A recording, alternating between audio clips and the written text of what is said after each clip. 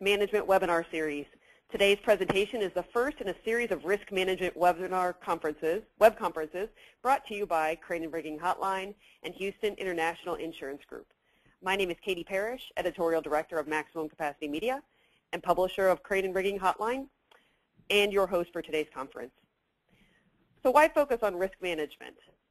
For starters, it's a topic that affects all areas of your business and requires planning ahead to ensure your business is covered from every angle. With this series, Crane and Rigging Hotline and HIIG have developed a range of topics that will help you prepare for foreseen risks, estimate their impact, and define responses to these issues. Additionally, this webinar series will help you establish a plan and a risk strategy that includes avoiding, controlling, and mitigating, accepting, and transferring risk. If you have an idea for a specific area you would like us to cover in a future webinar, feel free to email me at the address on this page and I'll also post my contact information again at the end of this presentation. Today's topic will look at minimizing liability allocation after a main, major crane accident.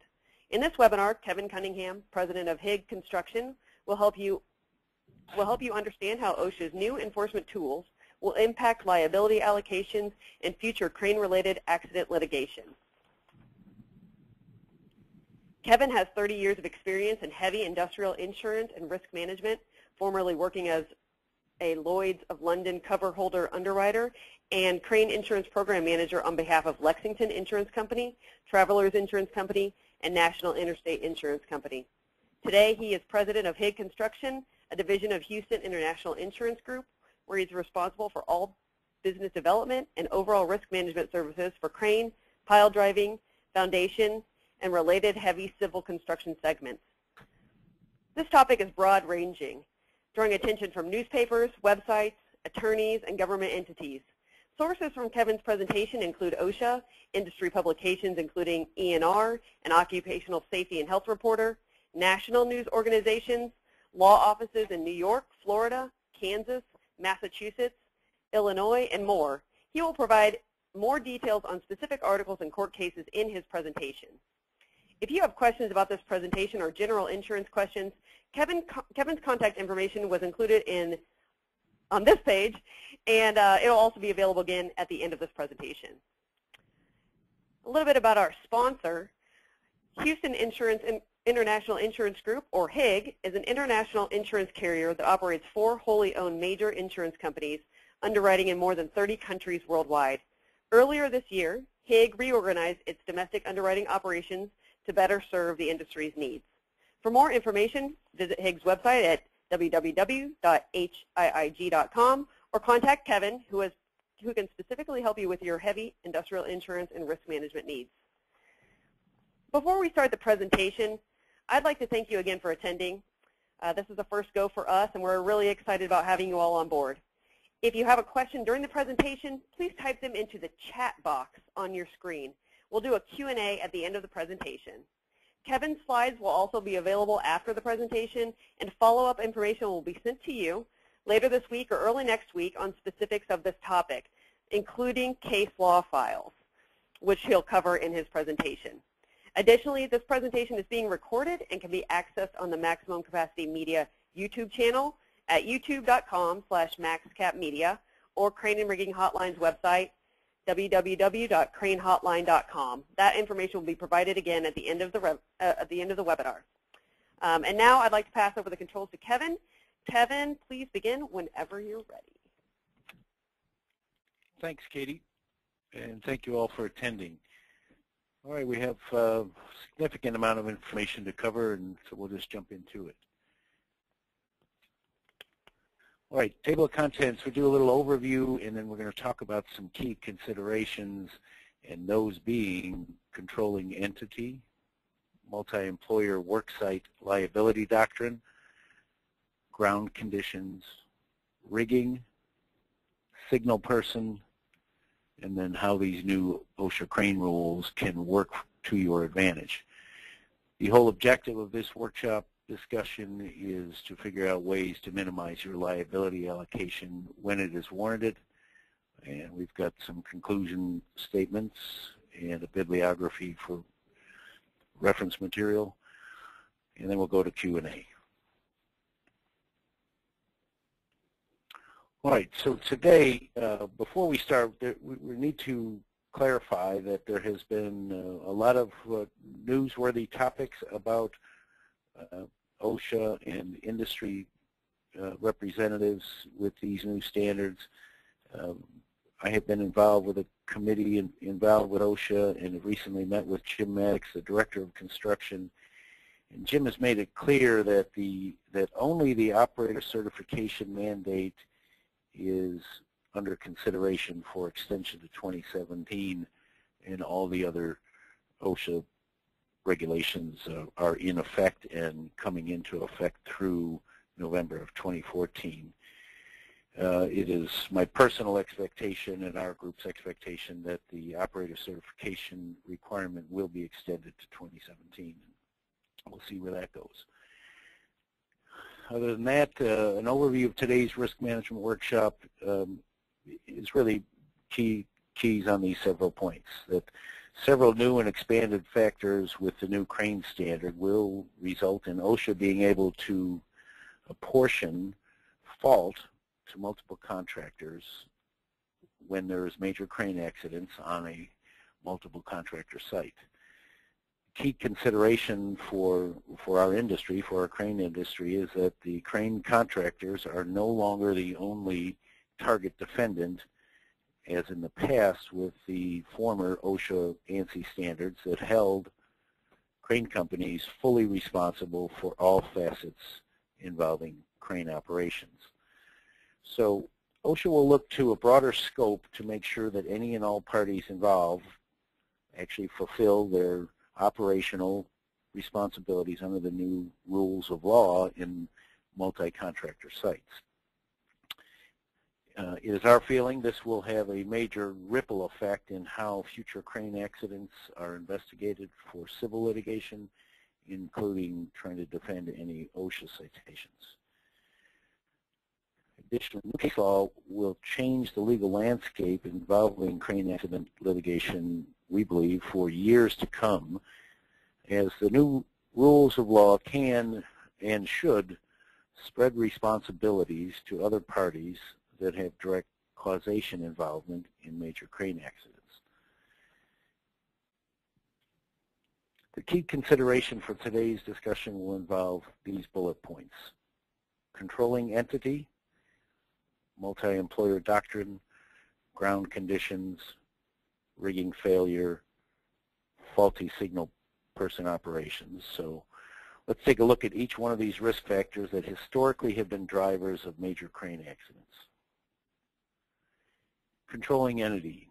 This is truly historic from, from our position in the insurance industry that never before had uh, controlling entity or controlling employer as, as much of this is, is considered uh, applied to the crane industry. And now there is a new crane-specific definition in the standard that goes beyond the traditional role of assigning liability only to the crane company for any and all responsibilities associated with crane operations.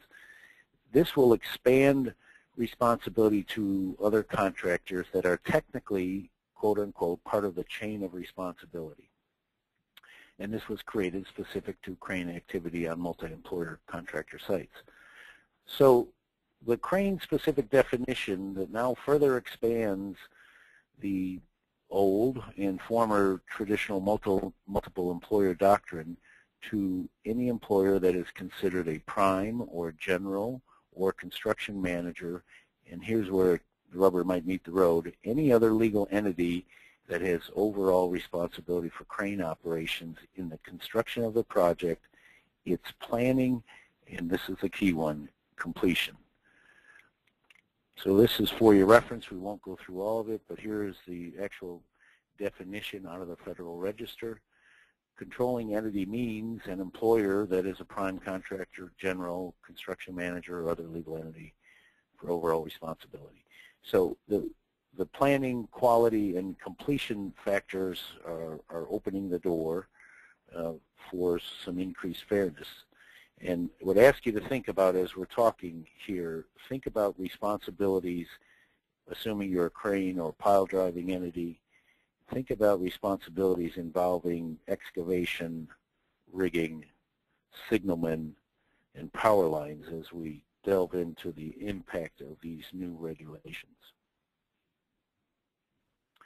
Multi-employer worksite liability doctrine, or MED as it is more commonly known, multi-employer doctrine, has always and still applies to all industries under OSHA law and has been in effect for 30 plus years.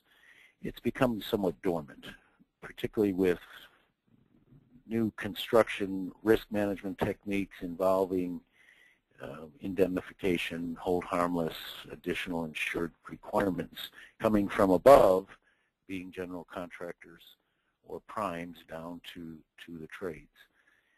The multi-employer doctrine principles now have a specific and additional applicability to construction, and in particular, work sites including cranes with multi, multiple contractors involved. Additionally, power line utilities and separate rigging entities now have increased responsibility. And there is some case law that is fairly recent that, that has gone through two different uh, appeal, appellate process that, that were unsuccessful for the contractors, which has, has taken precedence in, in this formerly nebulous general rule of law. Secretary of Labor, OSHA, uh, and Summit contractors have been engaged in this legal battle, and thus far Summit has been coming out on the Summit as a general contractor, and they have been coming out on the losing end. So we'll move forward and discuss a few of the case particulars. Without going into all the gory narratives, OSHA cited Summit as a general uh, regarding some equipment that was rented at a multi-employer construction site and said that they were they had made a determination that Summit was liable both as the controlling entity and the creating employer for exposure to several lower tier subcontractor employees as it relates to deficient equipment and the operation of that equipment. And because the condition of the non-compliant equipment was a driving force, uh, Summit attempted to, to appeal after they lost their administrative law judgment uh, and took it to the appellate court, which goes through the uh, Occupational Safety and Health Review Commission. It's, it's, very similar to state courts that, that then get appealed to either regionals or even up to Supreme Court levels. Um, and it's known as the Summit Contractors versus Secretary of Labor case. Um, this is a very significant decision. We use it in, in our litigation management as a major insurance carrier defending our policyholders' interests. We know other our counterpart carriers do as well. And it's now expanding the number of jurisdictions that have that are using it as um, as the important case law for reference that really upholds that the general contractor's liability, a multi-employer uh, work sites, is, should hold true. Here's where the rubber meets the road on this case it suggests that general contractors may not, cannot be shielded from liability by contractual provisions delegating responsibility for worksite safety to the subcontractors. It's very, um, it's a very intensive ruling against Summit. They argued that they weren't responsible, they didn't have people there, and most importantly that they had a subcontract with Spring Hill that expressly stated that Spring Hill signed that they would be responsible for complying with all laws and, and OSHA situations. And OSHA ruled against it. And they used the basic premise that Summit could not contract away its overreaching uh, safety responsibilities under the OSHA Act.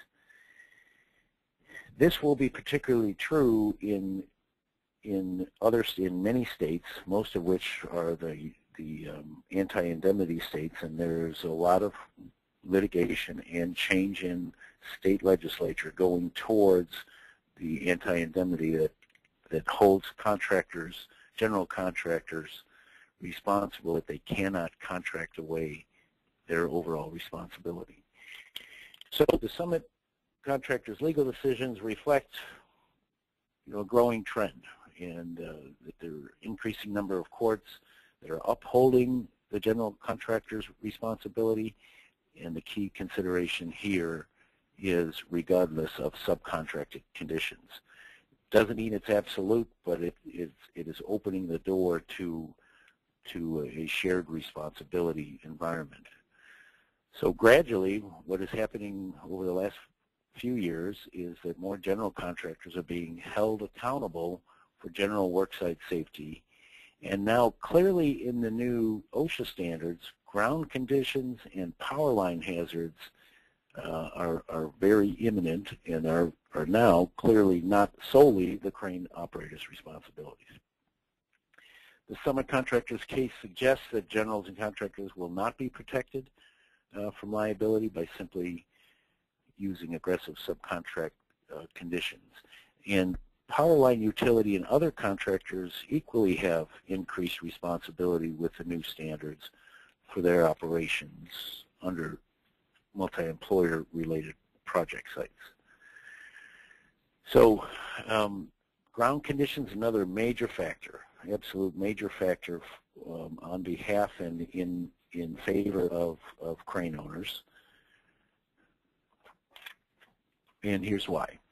OSHA's made a significant shift from placing the responsibility, as stated earlier, that, that came through ANSI standards and the OSHA regs, that anything relating to the crane was the crane owner's responsibility, and now specifically cites that ground conditions responsibilities um, can be others based on litigation and accident scene facts um, to be discussed later in our conclusion. The controlling entity change, also a new new addition to the to the crane OSHA standards, um, also fits into this ground conditions and has a direct correlation to it. Uh, the controlling entity clearly is responsible for preparations necessary to ensure the ground is firm and drained and graded and all the right things, and has some some new language about subsurface voids and tanks, very much in in the crane owner's favor. This newly defined crane rule, so this newly defined crane rule does connect directly with controlling entity language and multi-employer doctrine principles, which become the legal basis for challenging causation factor responsibility. A, a very important key consideration for crane companies, pile drivers and, and crane rental companies, is appropriate documentation uh, with other related contractors on the site. It, it is actually essential to be in a position to minimize your liability allocation in the event of a, a major crane-related accident. If we flip forward and take a look at the, the actual OSHA ground conditions definition, it's pretty clear. Um, they clearly define what ground conditions and supporting materials which also clearly are, are the crane owner's responsibility. However, if you look at item C, it just goes right to the controlling entity and that controlling entity would be determined in an accident scene investigation and legal proceedings. If in fact there is no controlling entity on the project, then, then it's a different story, and that would typically apply to a single pick um, a mobile crane that that uh, lifts a, an air conditioning unit, and there really isn't anybody else, so it, it would the responsibility would fall to the crane owner. But the the technical definition now opens the door for uh, shared responsibility, particularly to ground conditions that didn't exist before. That is uh, that is a significant move in favor of of the crane industry. Here's an example, a little bit of an illustration of an example. The ground conditions, and some of this language is right out of the standard, that the soil is not fill or backfill, mud or peat. You, you can read through it, um, but if we just look at the, the two little pictures, um, the compaction, clearly not, not, not a crane owner's responsibility. He's got to go according to his specs, and the specs clearly would have stated that the compaction would be appropriate in the firmness as it gets closer to the hole, looking at that top illustration, again, in the past would have been the responsibility of a crane owner. Um, today, it isn't when the appropriate documentation and job bidding and all the rest of that holds true. If you look at that second illustration, that void, that period between, uh, that, that uh, section of ground between uh, where the crane is positioned and where the excavation is, is critically important to the crane industry.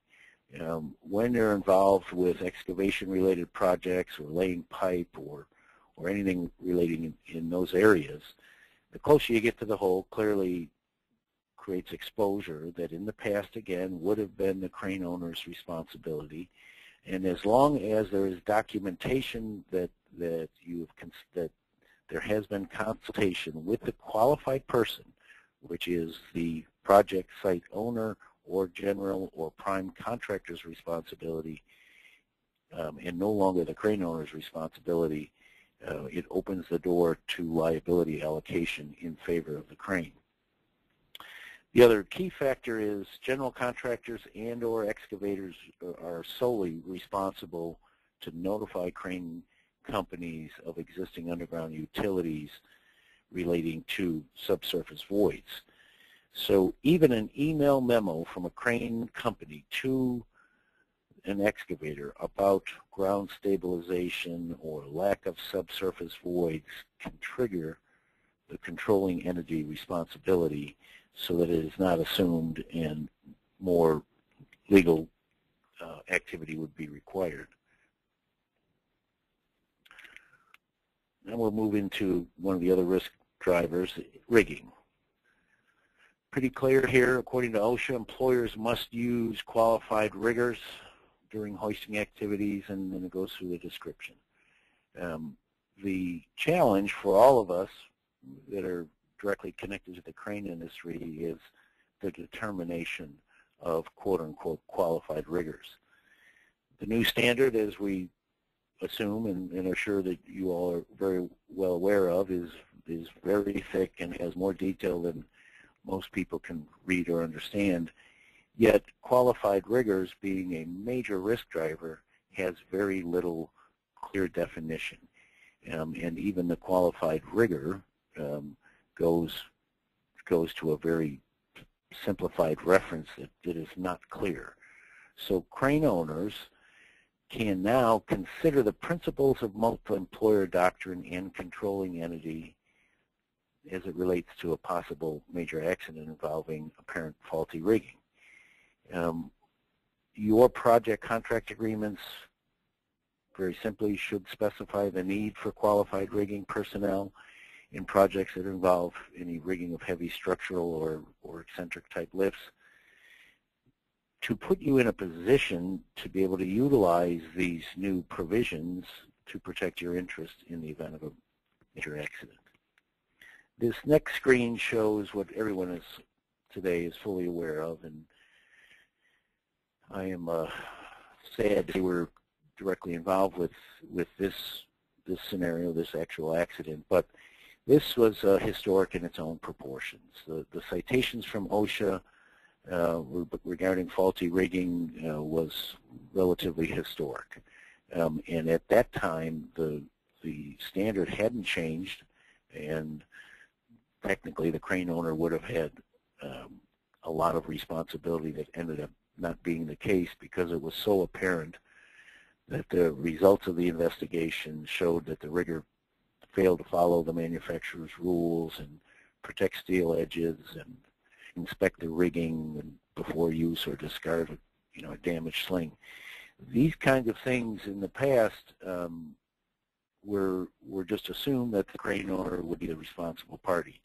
In this case, we had an unmanned rental, and and the crane owner uh, was not held responsible and, not had, and did not have any um, OSHA-related citations for this case. Um, and the rigger got got into serious legal difficulties, both in the civil courts as well as in, as in OSHA. Clearly, this accident called national attention to rigging practices, and our expectation is OSHA will be coming um, into the crane space with with a lot of attention here. So the qualification uh, of who those riggers are and, and, who's touching anything that goes on the end of your hook is going to be uh, front and center when accidents occur on, on crane sites. The other key consideration past rigging is signal persons. According to OSHA, very similar to the rig side, a qualified signal person is required. There's a little more definition about what qualified means, but according to OSHA, the qualified signal, signal person is very well defined. It's pretty clear when the operator's view is obstructed, um, or either the operator or the, the rigger handling the load determines that a, a signal person is needed. The qualified is is now got some teeth to it that it didn't have before. Um, understanding the operations and limitations of the equipment, including crane dynamics involved with swinging and raising or lowering or stopping loads, and in particular boom deflection from hoisting loads, would be assumed to be a practical understanding. Um, that isn't always the case. So now OSHA is holding all contractors responsible that anybody involved in signal person must know and understand the relevant signal person qualification requirements as specified in several different uh, items in the standard 1926, 1419, 1422, and 1428. So there's a lot more definition coming into the fold for the other contractors, the structural steel and concrete and material providers uh, that didn't exist before. And I would ask that you consider the realm of possibilities for shared responsibility or even possibly complete risk transfer to the signal person entity versus the crane company in conjunction with multi-employer doctrine in controlling entity provisions of law as we move forward in these discussions. The signal person qualifications has does opposite of, of rigging have some um, OSHA definition to it. Um, this is just one item. This is the qualifications item um, on your screen now, and and it shows there's a couple there's a couple of options. The option one and option two are all these are new, uh, newly defined, more thorough explanations of who is qualified. So it would be very important for any type of crane operations uh, to agree and understand what these third-party qualified evaluators rules are, what those qualifications are, and which ones would apply to your job, and in the contracting of your work, um, that that it's spelled out very clearly. So let's get to the meat of the matter here. How can these new OSHA crane rules work to your advantage as crane subcontractors if and when major accidents occur? It is um, our clear belief that the opportunity for the crane industry to prevail in accident litigation has never been greater. There is some assumptions there, though it, it isn't absolute that these new conditions automatically equate to shared responsibility. So we have to assume that that crane companies' quality control standards are in effect and they're thorough and they're documented.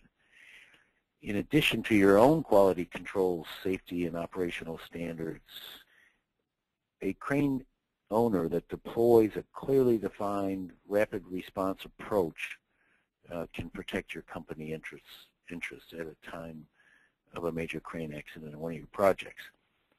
So what we've talked about is major contributing factors, and this comes from our personal experience over the last 18 years, that, that these five items are where they come from, are where the major catastrophic accidents usually involve something within these five. We're, we've talked about, and, and you'll see in the solution, we, we're, we're talking about four of the five because clearly it would be rational to understand that if operator error is determined to be the proximate cause of an accident, then minimizing liability allocation would be a moot issue.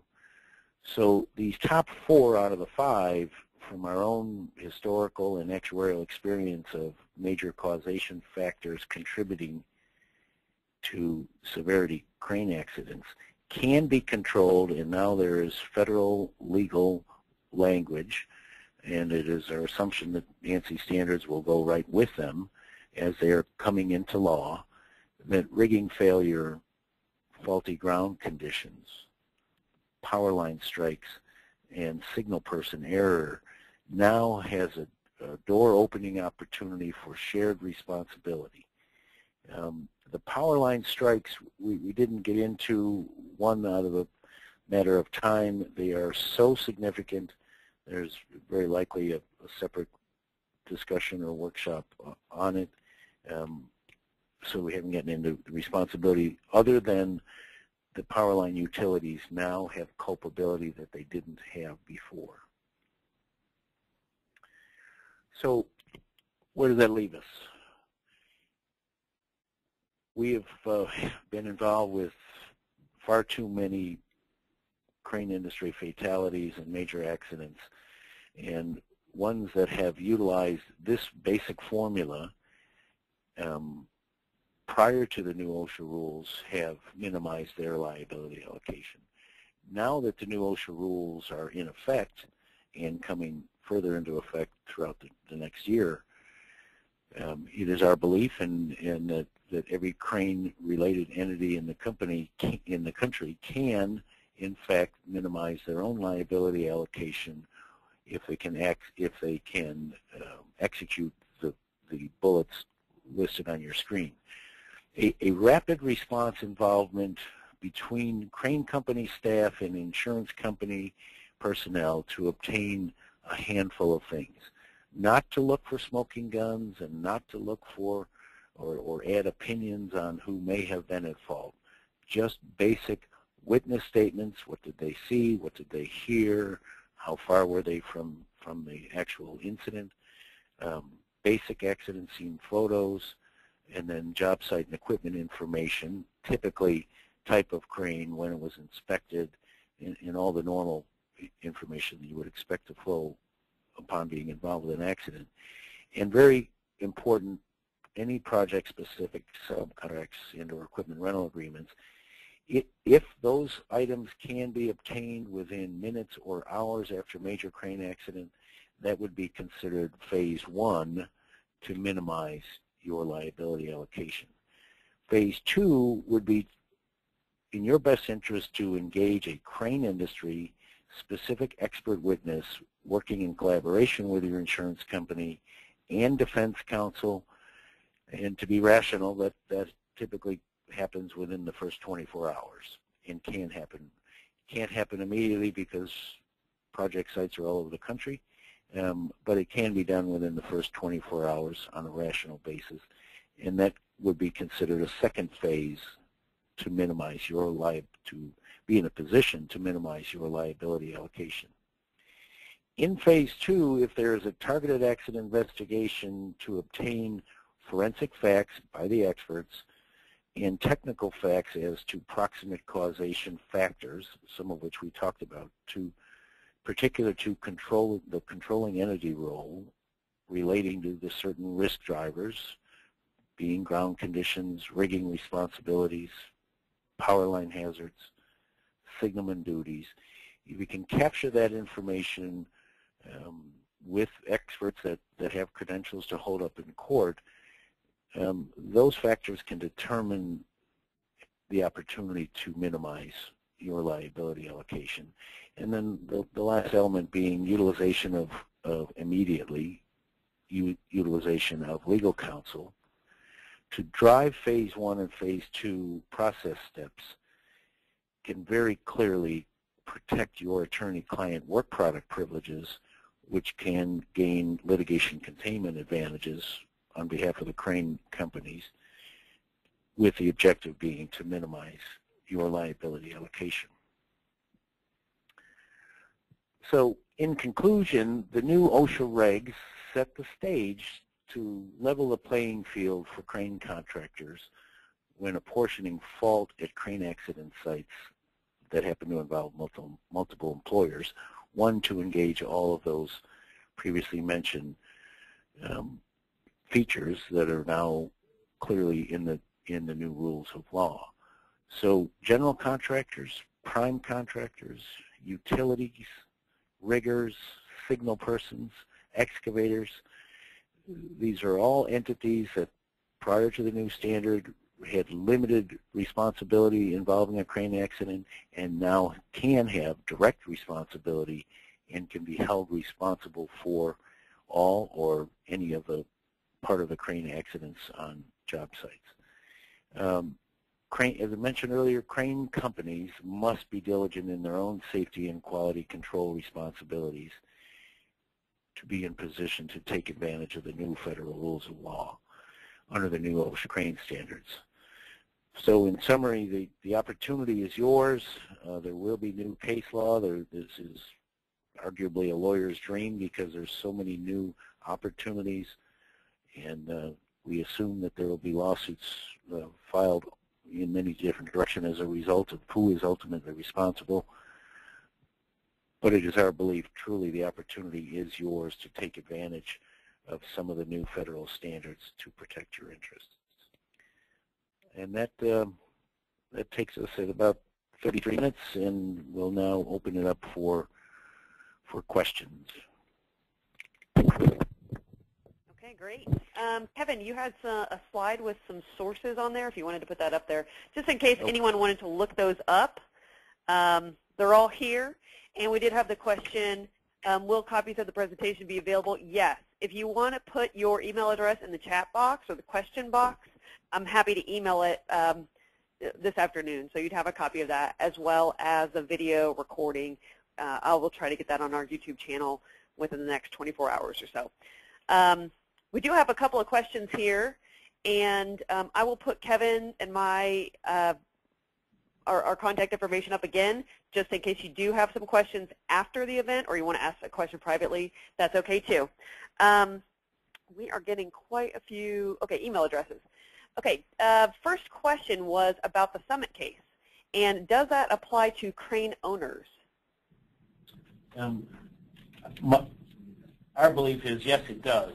Uh, it, it, would apply to a crane owner being a subcontractor because the ruling, Summit is the general contractor, and um, they tried to get out of any responsibility uh, for the accident, but were, were pulled in through the multi-employer doctrine, and they were held responsible. They appealed and said their contract says we are not responsible, and uh, and the, the uh, DC court system said no, that that's not true either. You, that they in fact were the the main responsible party. So as opposed to it automatically going to the crane contractor, it could apply if, if the crane owner is the prime, if it's their contract. But typically we see crane owners being the secondary or sub-tier contract, subcontractors. Great under the, uh, I'm sorry, are rigger or signal person certification part of OSHA's proposed delay, or are they already in effect? Uh, great, great question. Uh, it, it is only the operator certification on the delay, and there still is some question on certification for those two parts, for signal and signal person and, and riggers. It would be our opinion, in fact, we give premium line item credits to crane companies that do some type of certification and validated training for riggers and signal person because it's just a, a practical application that those that do it.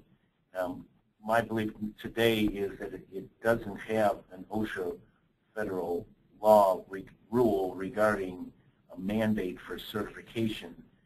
It just has this fairly loosely defined quote-unquote qualified rigger. so I guess it's anybody's best guess, and you'd be better safe than sorry by getting them um, qualified through a, through a rigger certification or signal person certification entity. We've had quite a few questions about that at Crane Hotline, and um, I think there was a couple editors' notes about about qualification versus um, certification, and I'm happy to send that to anybody who has that question too. Going back to the Summit case, um, same person asked, does this apply to project owners? It does very much apply to project owners, and um, I think it's it, the the determination would be, you know, is the project owner um, directly involved in the case in, in, the construction project? If they are simply a financier and they they retain the general and their their business agreement states that that the general is responsible to do all things, then the general under that project owner would be responsible. But from what we're seeing by opening up this um, potential for liability allocation, and they've really unearthed this former, formerly nebulous or dormant multi-employer doctrine, and, and the Summit case is what's doing it. There was nobody above Summit, so they, they in fact were the project owner um, in that case, as, as we understand it. So I think a project, more safe than sorry, a project owner would have increased potential liability. Okay, great. Uh, next question. If the back of a job ticket covers the concerns that you talked about in your presentation, um, and the operator gets them signed, does it hold the contract, uh, gets, the, gets them signed, does it hold the contractor that the crane is working for liable? And if a field hand signs it, can the contractor say he does not have the authority?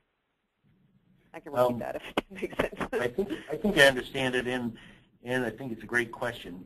we have had some um, very significant success in that regard, where a major subcon project subcontract was negotiated in an office, which is typical, and then the on-site job site ticket with responsibilities uh, being clarified um, that changed that major agreement. Um, we've had two cases uh, that, that, I can recall. One, the job ticket worked entirely, where the crane uh, contractor was not the responsible party, and the other where it became a shared responsibility, and this um, this sole, uh, not sole negligence, but this sole indemnification that regardless of, of what happens, the, the subcontractor would have to indemnify. The general uh, was thrown out because they had two disparaging contracts. Job ticket said one thing, which lessened the burden on the crane owner. The subcontract said something else. And as most of them would understand, any ambiguity in contracts tends to go against the ones that that that wrote the major the major contract. So so I I would encourage any crane owners to continue to use the job ticket and to spell out responsibilities, especially on uh, utility-like projects, underground utility-like projects. Um, because that's where we've seen it work in the crane owner's favor. Okay. If the crane is rented bare without the operator, does the crane rental company have any responsibility other than to make sure the crane operates properly? Um, our, our position is no. That a, a bare rental agreement in the, that one rigging example that was in the ENR article on New York Crane um, held that to be true, and that was prior to these new standards being in effect that, they go right to the maintenance records, which we would do as well. Um, and if the maintenance was in accordance with manufacturer specs, um, and even some witness statements and others to, to validate that the, the equipment was fine, the responsible party is the employer of the person pulling the levers or one of these others relating to ground conditions or, or other factors that could have contributed. But that, that bare lease crane owner, our experience has been, would, would not be responsible. Okay.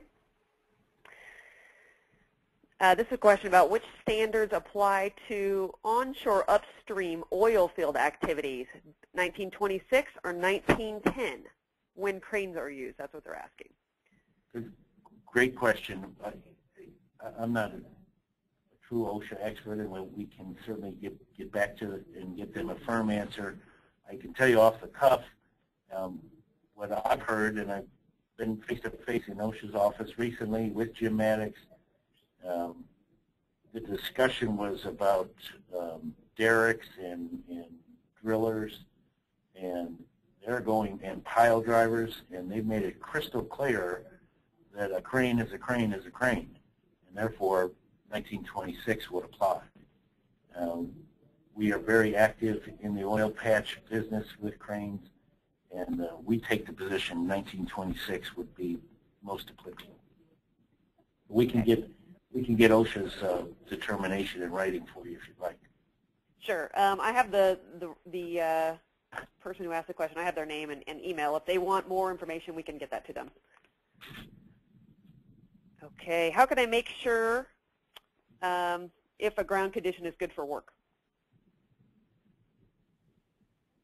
Uh, good question. Uh, uh, certainly, job site specifications, if it is that kind of project, should spell out the weight and capacity for whatever they're lifting, and, and that becomes the, the door opening responsibility if there is a prime utility or prime excavation contractor. The specs would say you're going to be operating on rock and clay and it can hold a 50-ton limit or whatever. Um, I think it would go to contract so it sets forth expectations. Um, but but any you know ground conditions ruling is really what we would do if we had a case like that was immediately deploy a geotechnical expert to say is it rational that a 50-ton pick should be on this kind of ground that was specked out that way um, because that really, I think the, the concept here or the, the topic was really that prior to these new standards, the answer to this question would be it doesn't matter, it's the crane owner's responsibility to try to figure that out. Today, it is no longer just the crane owners. So if I were that person, I would, even in an email, make sure that if you've got a 50-ton or whatever your capacity crane is being used, that somebody is communicating from the user that the ground has been determined um, to have a, enough compaction to, to withstand it. Okay.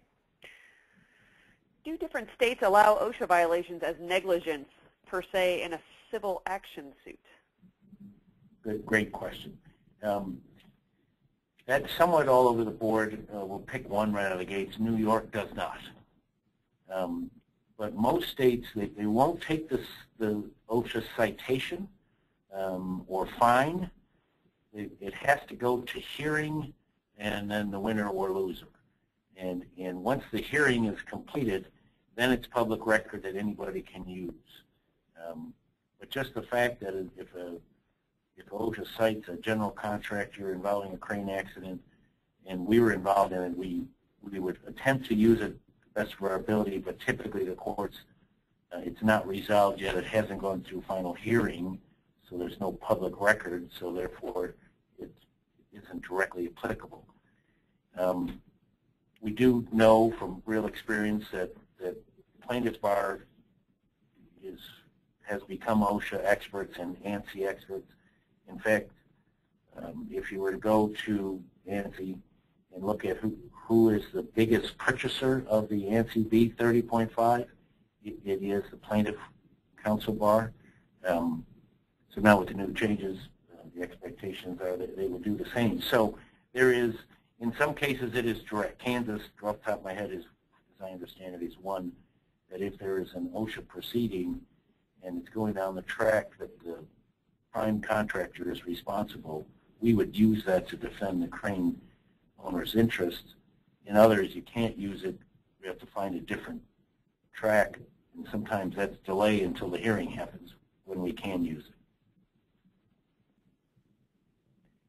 Okay, this goes uh, goes back to the underground utilities or, or ground conditions. Um, in highway work, where cranes are moved along the freeway alignment, does the general contractor slash crane owner have to identify where underground utilities exist And how is that feasible with so many moves? Great, another great question. Our, our position is it is not the crane owner's responsibility in any way. Uh, we had a major uh, accident go in our favor um, on right off of Michigan Avenue in Chicago as a matter of example. Um, very significant prime mechanical contractor involved and one of the biggest name general contractors on top of that.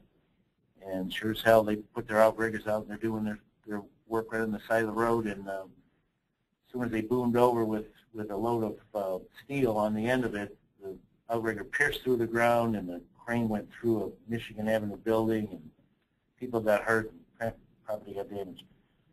Long and short of it is we were uh, fortunate to to have access and to utilize a crane industry expert that went right to ANSI and OSHA standards saying in no way could we have known there was a subsurface void there, that it is not our responsibility. In fact, we so we cited the, mechanical contractor and the general, even though we had gave them additional insured and, indemnification, and we prevailed in that case. Um, highway work, same thing. How, how could they possibly? But the highway contractor would have specifications of historical construction project and what type of pipe is underneath the ground and what type of rock and clay is above the pipe. Um, and that's where these that's where the door opening opportunity is to say that you know, we're not the crane owner is not a highway contractor per se, that's their responsibility. Okay, going back to signal person and rigger questions. Um, we've got a, quite a few on these. Let's start with, um, does the general contractor have to actually review qualifications of crane companies, signal persons, rigger, operator, and then make the decision that they are acceptable and not acceptable for a project? Um, good point. I, I don't think that that's uh, rational. I mean, it's probably not practical that they could even do that. Um, this is the good and bad of the new changes, where I think it was part of the, in my experience, I was part of the SC&RA CDAC subcommittee when CDAC was going through, and this was a major item for debate. And, and the issue being, um, how could you possibly keep up with it? And, but it really, it, it ended up boiling down to, it can't just fall on the crane owner. It can't. It's not rational. It's not fair. So a general contractor to then just ensure that they deploy qualified riggers, which is even today relatively ill-defined or, or, signal person. In our opinion, that, that's, that's why we're having this conference. It does open the opportunity to litigate more progressively to say, you are, Mr. General Contractor, sharing in responsibility and therefore the crane owner shouldn't be the sole party. Um, I would think in some jurisdictions, again, New York being a big one, that if the general's subcontract agreement says uh, you will have qualified as determined by OSHA, and then it is proven that that, that that signal person hasn't at least gone through a couple of the steps that are defined, then the general would pass the responsibility back to the to that signal person. But it, uh, I can recall the CDAC discussions, we were talking in, in, in the concept that the, the crane is the, uh, historically is the workhorse on the project and that so many people come and go hooking and swinging iron and concrete buckets and other material that, you know, we could never keep up with it. And uh, what came back from, from the OSHA side was that when OSHA made the determination on the new trenching standard that was prior to, certainly prior to, um, for underground construction, that that industry said the same thing, that there's no way they could keep up with the new regs um, and put trench boxes in every hole that has is four feet deep, and it would, they couldn't afford the cost and all of that, trucking, hauling, all those. Um, and they actually use that analogy to say, yes, you can, and you should, and you will.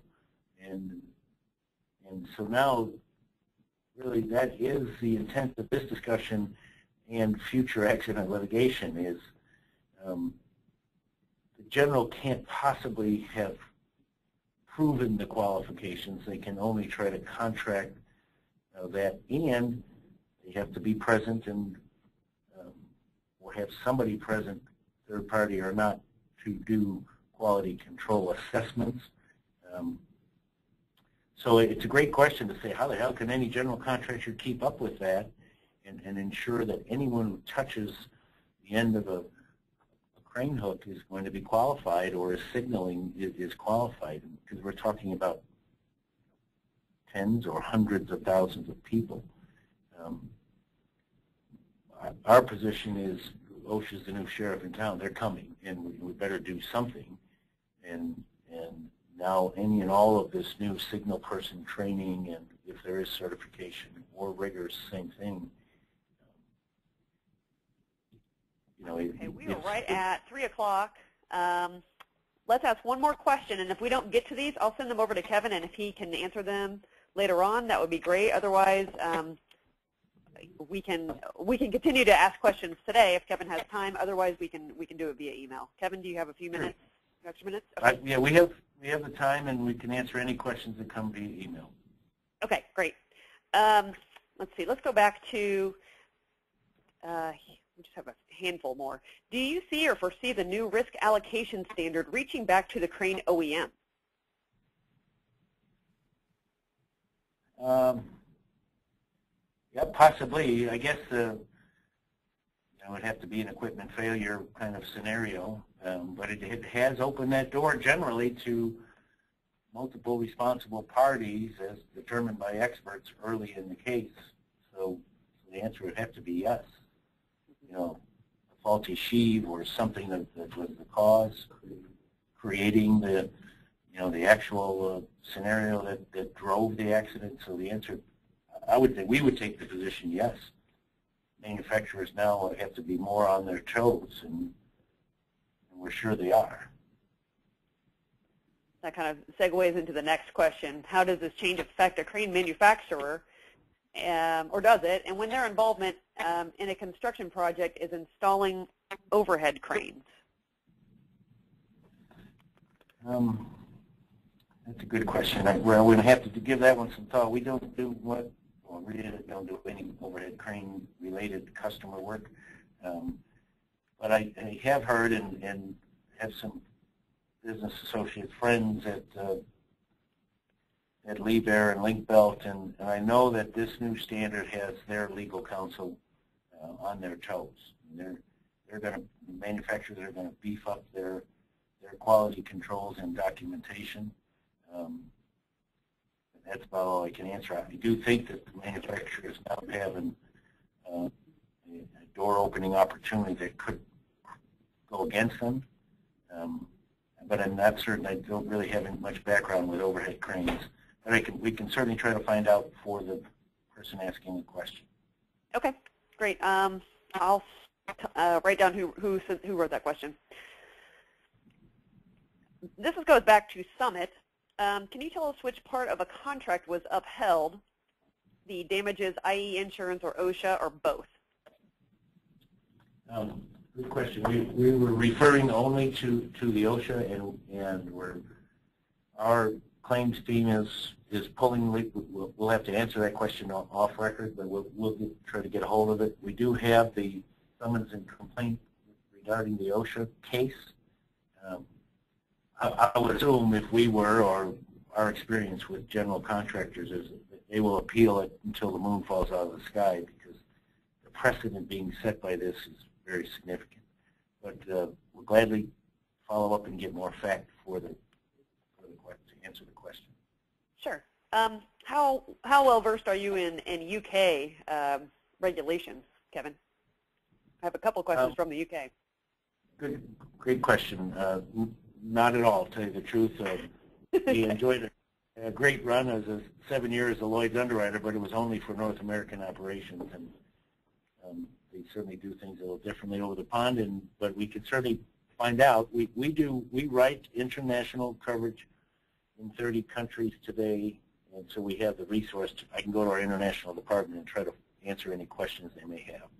Okay, they're asking about um, the the, spe- the comparison of this of the regs from the UK and the US. So um, that would be the question. I'll send it over to you too. Thank you. Going back a little bit to signal persons, uh, in the new OSHA rule, does it require documentation for signal person training? Uh, I actually got the rule right in front of me. It does, um, and it spells it out, audible signal, competent person, uh, direct channel, directly into the load. There's a six-page description of it, and we can forward that to the person asking the question. But Okay. it does.